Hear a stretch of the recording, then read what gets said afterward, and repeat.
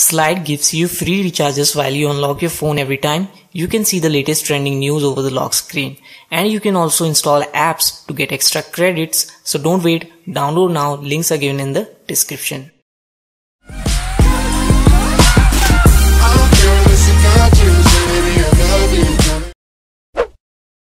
Hello guys, welcome to the channel and in this video I'm going to show you how can you get the Android O beta notification in each and every devices you own. Maybe it's running on Lollipop, Marshmallow, whatever it is, maybe on Nougat as well. So how to get those notification dots in uh, your existing devices like the Android O. So how the notification uh, dot of Android O looks like let's see.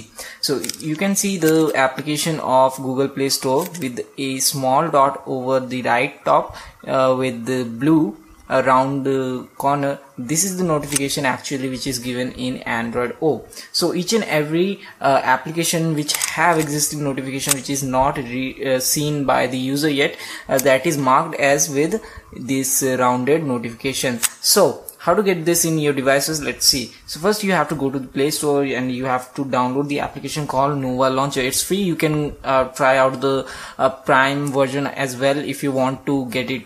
It's all up to you. Okay. So after getting this what you have to do you just have to go to its settings then move into the notification badges and you will have to select a style so style statement means to different uh, uh, personalization options where you can select none, dynamic badges, dots in Android O. So this is the latest update, the beta update where you can see this option only over the beta application of Nova Launcher. Okay, so click over the dot and uh, make sure you select the size of this uh, notification around corner uh, large medium small whatever you like and adjust its size position wherever you want. So after doing this personalization you will have your own uh, notification bar like android o uh, which you can get pretty easily. So i hope you guys enjoyed this video. This was pretty small information i thought to share with you guys because uh, I keep making videos on tips, tricks and hacks so I hope you like this video.